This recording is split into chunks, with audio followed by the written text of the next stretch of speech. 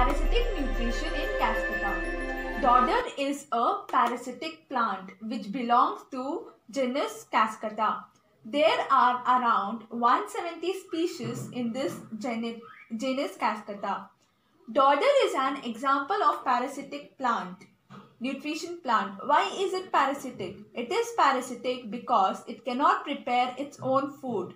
And also, dodder is twining leafless plant. It is parasitic twining. It twines around the host plants. It, it is twine. It twines like thread-like plant which twines around the other plant to get it food, shelter and other nutrients. They are found in temperate and tropical region in the world. The dodder plants move from one place to another along with the host plant. If you observe the structure of if you observe the structure of Cuscuta, they will be they will not have any chlorophyll. The colors are white, pink, orange or brown. The leaves of dodder is reduced to minute scales. The dodder of flowers in nodules like structure are made up of tiny yellow bell-like petals.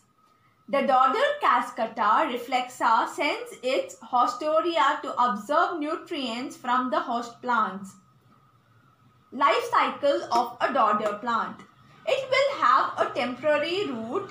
From the temporary root, a thin thread-like structure is engrossed to sustainable height. It catches the stem of another plant or tree. It twines around the host plants. It produces a sharp hook-like structure which is called as haustoria. With the help of haustoria, it absorbs the nutrients from the host plants. The stem which arose from the temporary root later disappears.